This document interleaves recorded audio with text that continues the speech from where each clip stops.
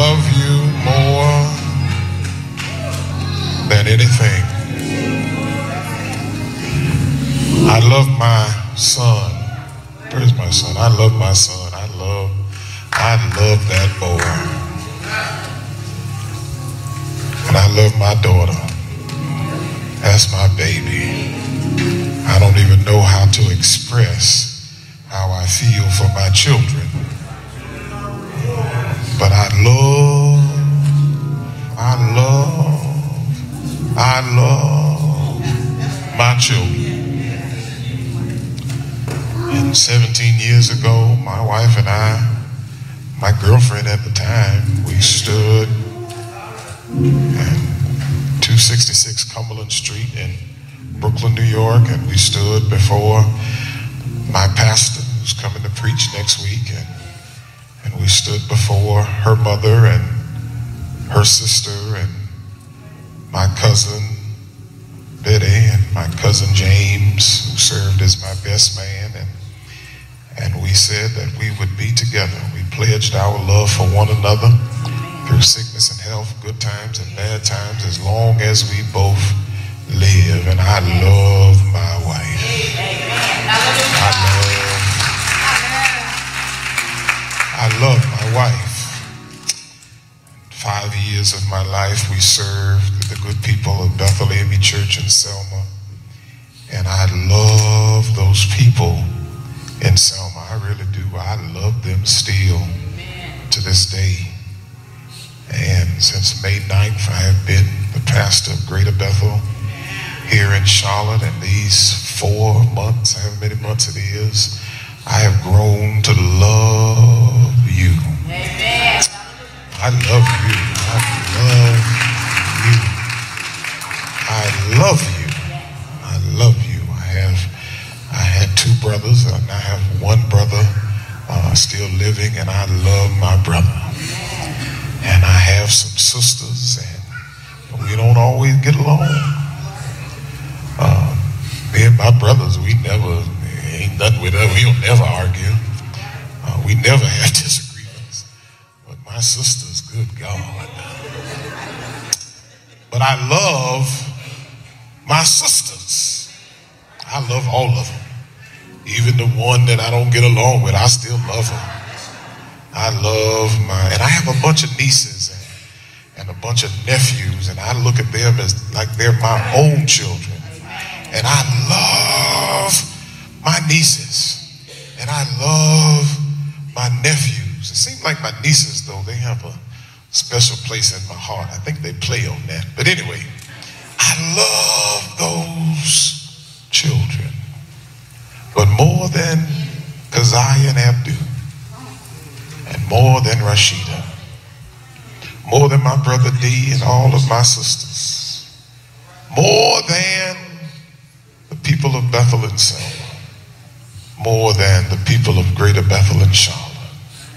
If you take all of those people, and that's probably about three, four hundred people, if you take all of them and add it all up, I love God more.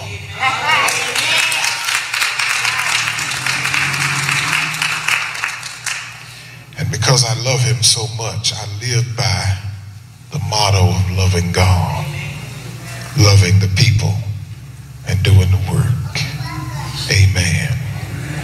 I don't just say that, I try to live it. Amen. Let's thank God for this choir. Praise team.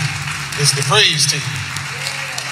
Amen. This is this is the praise team. Isn't it good that you can praise God no matter what the circumstance? Amen.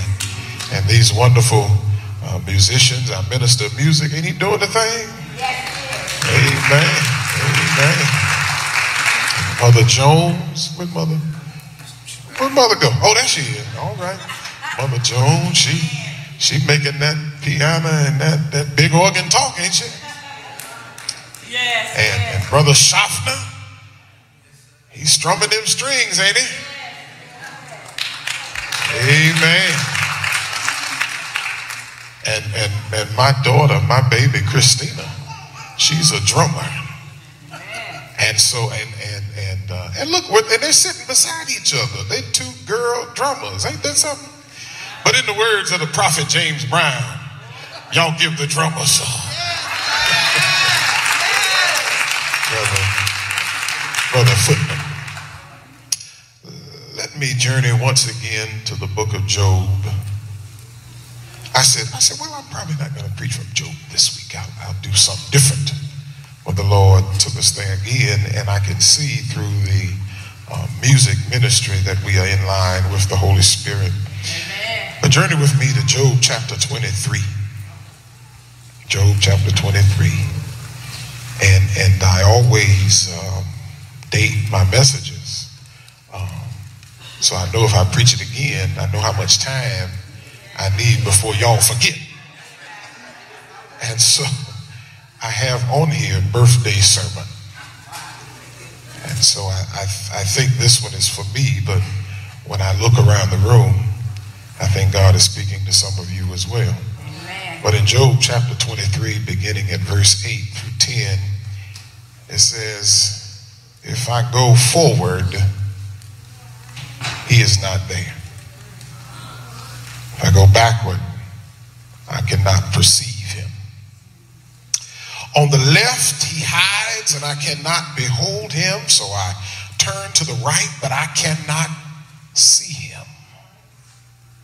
But he knows the way that I take. When he has tested me, I shall come out like gold. Sister Tamra likes to read from the Message Bible. And so I don't want Sister Tamra to be lost. So Sister Tamra's Bible says, I traveled east looking for him. I find no one. Then west, but not a trace. I even go north, and he's hidden his tracks and south, and not even a glimpse. But he knows where I am, and he knows what I've done. He can examine me all that he wants, and I'll pass the test with honors. I followed him closely, my feet in his footprints, not swerving from his way. I've obeyed the words he's spoken and not just obeyed them, but I treasure his advice. The word of God for his people. And I just want to talk today, even though I can't see him, I know he's there. Tell your neighbor, neighbor, even though I can't see him, I know he's there. Dear Lord, let the words of my mouth and the meditation of my heart be acceptable before you. God, use me to preach. In Jesus' name, amen. To Mother Brown and Mother Bird and all of these preachers, amen. All of these preachers. Have you ever had an experience or an unexplained event to happen in your life and it blessed you? It's one of the occasions where a blessing came your way without any effort on your part. It came just at the right time that you needed it to come, and the only thing you could do was stop and say, Praise the Lord. There are some who have unexplained reversals of a medical condition. I just got a text message that said that uh, Reverend Jones is comfortable, calm, and doing just fine. The doctors may say one thing, but later the condition was reversed, leaving the doctors scratching their heads. You were not in line to receive the opportunity but somehow an opportunity you never thought would happen suddenly appeared out of nowhere. Somebody told me that after 10 years of ministry, 10 years of pastoral ministry, it's not your time. It's not your turn to be the pastor of Greater Bethel. And then they said, but you know what, Reverend? It might not be your turn, but it's surely your time. You may have been involved in an accident that should have been fatal. Where's Sister Price at? But you survived with only scratches and bruises, or even sometimes no scratches at all. How did these things happen? We know that God works in the background of our lives, and He does these things to ensure that we accomplish our life's purpose. We who have told God that we will follow him and that we will help in the establishment of God's kingdom, we have the assurance that he is working to open doors that have been shut to us and he is working to create doorways that don't even exist to help us achieve his purposes in our lives. And often we won't see the hand of God operating, but even though we don't see it, he is there. God is behind us and we don't see him. God is in front of us and we don't see him. God is on our left and we don't see him. God is on our right and we don't see him. But those who are outside of the faith, they may not recognize the hand of God. But we who know God, we know how God works. God's unseen hand guides and controls. God unseen hand tears down and builds up the unseen hand of God is called his providence.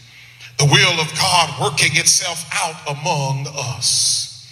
We know the power of God is working every day, even though we cannot see his hand directly, we feel God's presence. Well, I'm reminded of a story of a pimp and a pastor. The pimp drove the souped up Cadillac sunroof top, diamond in the back, digging in the scene with the gangster white walls, TV antenna. What y'all know about that? Well, this pimp was driving this souped up Cadillac and he ran a red light and he smashed into the Hyundai driven by the pastor. So the two cars, they crashed, and airbags were deployed, and both cars were completely destroyed. And the pastor said, Lord, have mercy. There's no way that I can prove that this pimp ran the red light and caused the accident.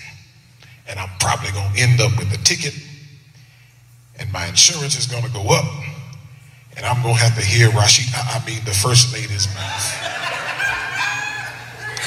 So after a few minutes, the pimp and, and the pastor stepped out. And they looked at the cars, and the pimp said to the pastor, Hey, man, I, I remember you from back in the day. We grew up together in the hood, and both said how amazing it was that they survived this crash without either of them getting a scratch. So the pimp said to the pastor, This must be some kind of sign that there is a blessing in this somewhere. And the pastor said, Look at both of our cars, completely demolished, but we are unscratched, and that is a blessing. In fact, everything about the car was torn up, except in the back of the pastor's car, there was a bottle of communion wine. And the bottle didn't even get touched. And so the pimp saw it and he said, Pastor, that's a sign. And we should celebrate. So let's have a drink. So the pastor passed the bottle of communion wine to the pimp, and the pimp popped the top. And he drank half the bottle. And then the pimp gave the bottle back to the pastor, and he was surprised when the pastor put the top back on the bottle. And the pimp looked at the pastor and said, Aren't you going to celebrate the goodness of the Lord? And the pastor said, No, I think I'll wait for the police then I'll celebrate.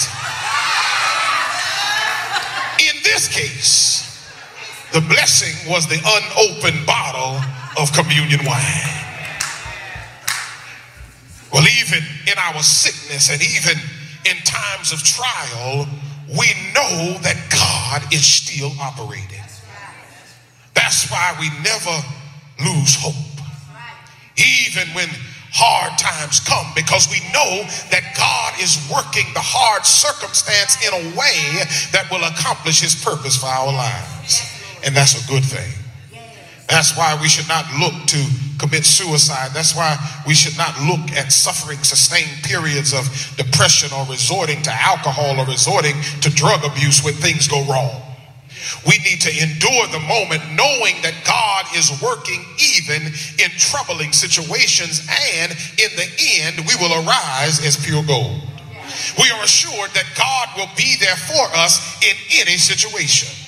He will tell us what to do and he'll tell us what not to do. He will open doors and he will shut doors. He will make things happen. He will stop things from happening. But whatever he does is always to our advantage. We won't see him when it's done, but we'll know after it's done that it was God that made it happen. Now, in this text, we see Job's response to the troubled circumstances in his life and expressing faith that his situation would be reversed, even though he didn't know how, he knew that he would come through it as pure gold. And we've already established that week after week we say that Job was a righteous man. He was a good man. He faithfully subscribed to the laws of God and he lived by the principles of God every day. And the Bible described Job as a righteous man who never once broke God's law, but he fell on hard times anyway. He was an obedient man, he was a faithful man, but yet he fell upon hard times. And his faithfulness was tested by God to show Satan that regardless of what misfortunes come his way, regardless of what would happen, he would not forsake the faith and he would remain obedient to God no matter how dark the day, no matter how tough the storm. So Satan caused numerous difficulties and to come in Job's life. His health was failing. He was sitting there, a pitiful looking sick man with boils all over his body. All of his wealth were gone and his children had died and all he had was his, was his wife and she was going through what she was going through and she told him, why don't you just curse God and die? And then his friends who was supposed to comfort him. They came and they sat with him for seven days in mourning. And then when they began to talk, it's like they should have shut up. And here he is with these growing number of frustrating and debilitating circumstances. But in spite of all of that, Job hung to his faith and maintained that he would not abandon his faith. He would not drop to the level of cursing God. He would not drop to the level of questioning God. He would not drop to the level of doubting God's goodness. So in this text, Job told his friends who sat with him and, and he looked to the left and he looked to the right. He said he looked up high and he looked down low and he could not see God's hand in his situation. But in spite of him not seeing God, he knew that God was aware of his situation and that somehow, even though he couldn't understand it, somehow, even though he couldn't explain it, somehow, God was probably involved in it. He says he knows the way that I take. In other words, he says he knows that I'm a good man. And he knows that when he finishes testing me, that I will come through as pure gold. Job's assurance that God is aware of his faith and aware of his lifestyle and commitment to his service is underscored by the reason that he felt assured that God would turn his situation around. And in the end, God did just that. Amen. He turned his situation, and Job came through as pure gold. But there are many ways that God has moved on our behalf in the past. And Greater Bethel, he'll do it again. And just as he's been good to us in the past, just watch what he's going to do in the months that are ahead. So let me share with you three quick points and I'll be out of your way. First of all, he has provided for us. We didn't see him do it, but we know it was God that provided for our essentials over the past year. Though we may have complained about some of our food, or we may have complained whether our clothes, clothes were fashionable or the size or location of our homes, and most of us would have to agree that God was faithful in providing us with all three. And even while God held back the demons of hell that were seeking to destroy us, He kept providing for our essentials at the same time. And even in moments of our unfaithfulness, it turns out that God was still working. God was putting people and God was putting resources in our lives to help us respond to our problems. We don't know how we stumbled upon the people who helped us, but we should have some idea. Was it by chance that you met the man or woman or group that responded to your need? Was it by chance that the opportunity that you needed to keep you from drowning in your troubles happened just as you needed? Did the lifeline that kept you afloat throw itself, or was there an unseen hand on the other side throwing it out to you? If you look to the left or you look to the right, you may not see him. But no matter what the circumstance that we may encounter, God is there somewhere and he's working it out for our advantage. Well, he not only has provided for us, but Brother Hazley, he's also opened some doors. We look to the left and we look to the right and we don't see him. But we know that it was God who opened doors that had once been shut in our face. Not only has God opened doors for us, but He's held them open long enough for us to get through and then close them to keep our enemies from following. That's what he did for Israel as they crossed the Red Sea. He held back the waters long enough for them to get through and then closed it on those who were trying to kill them.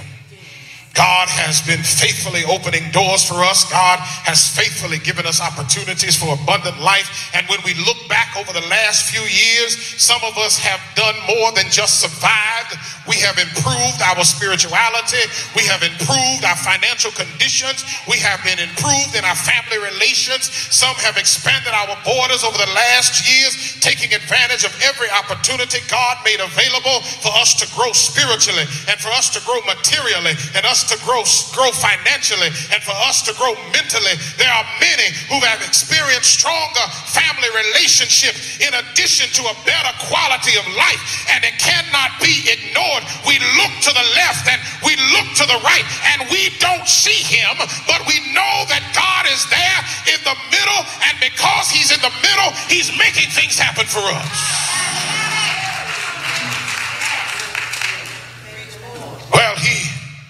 Has provided for us. And He has opened doors for us. But He's also provided for our spiritual support. When our spiritual strength was at its lowest, the hymn writer said that God lifted me. We didn't see Him, but we know that He was there somewhere. And while He was there, un- sight unseen for us. He was working things and he was talking to us directly in prayer. And he was talking to us directly through God's people. He was talking to us directly through the preached word. We heard his voice in the sermons and we heard his voice in the phone calls of friends and we heard his voice in the scriptures that we choose to read. We heard his voice in our early morning scriptures that we receive. We heard his voice in the songs that the choir sings. We did not see God in the months we did we may not have seen God in the months after our loved ones died. But Sister Sharon Marion, we know that He has lifted us out of our depression and He has given us a new purpose. We did not see God when we suffered a setback and when we lost ground on our journey, but we know that He was there because He he kept sending us so many messages to get up, keep moving, try it again. There are some families that have sunk to a spiritual low only to be renewed by the voice of God constantly speaking to them. Isaiah said, They that wait upon the Lord, they shall renew their strength. They shall mount up on wings as eagles. They shall run and not be weary. They shall walk and not faint. Well, let me tell you what David said. David said, I will lift up mine eyes unto the hills from which comes my help. My help comes from the Lord, the one who made the heavens and the earth. I think that's what the mind when he was talking about Jesus. And he said, I come to the garden alone while the dew is still on the roses and the voice I hear falling on my ear. The Son of God discloses. You might think you're by yourself, but the hymn went on to say, and he walks with me and he talks with me and he tells me that I am his own joy we share as we tarry there. None other has ever known well as I take my seat we must remember that just as we did not see God move on our behalf last year and just as we felt his actions he will be doing the same in the days ahead whatever we might expect to face in the coming year we should be encouraged to know that God is already in front of us he's scouting out our future we don't know what tomorrow will bring but I know what God did for me yesterday and I know what God is doing right now and I know that he's already ahead of me making a way for me I don't know how long it will be or what the future holds for me but this one thing I know. If Jesus leads me I'll make it home. One day yes it doesn't matter what the future brings as long as we're on the Lord's side. And if we're on the Lord's side there'll never be a cross that we cannot bear. There'll never be a mountain that we cannot climb. There'll never be an enemy that we won't be able to defeat. There'll never be a battle that we won't win there'll never be darkness uh, that will tempt you to light. Uh, there'll never be a trial uh, that we can't make it through. There'll never be a test that we won't pass. Brother Derek Myrick the Lord is a bridge over troubled waters. Say yes the Lord protects us from our enemies in behind. And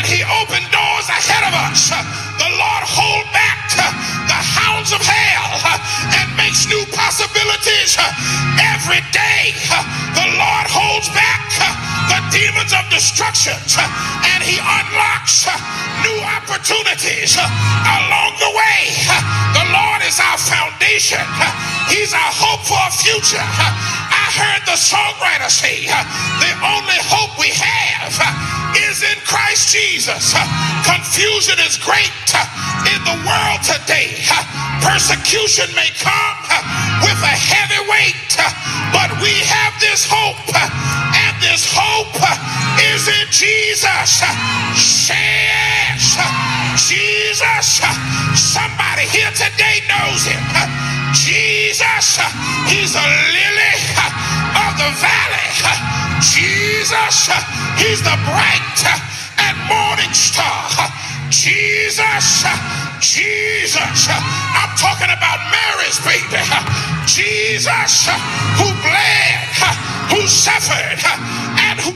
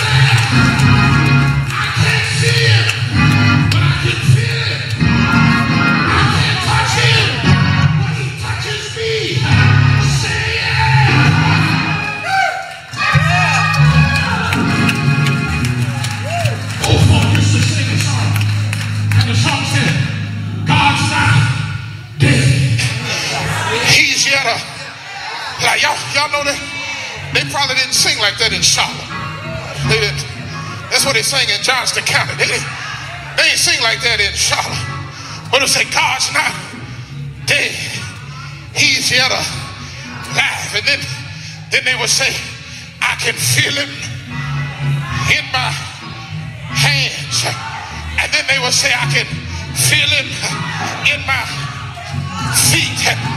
And then it will get so good to them. They say, I can feel him all over, all over me. Well, y'all, y'all help me. Y'all, y'all help me, help me shake that. And if you can feel him in your in your hands, just wave your hands. And then if you can feel him in your in your feet, just just move your feet. And if you can Feel him all, all over you. Move your body. Y'all take us to the old time Pentecostal church.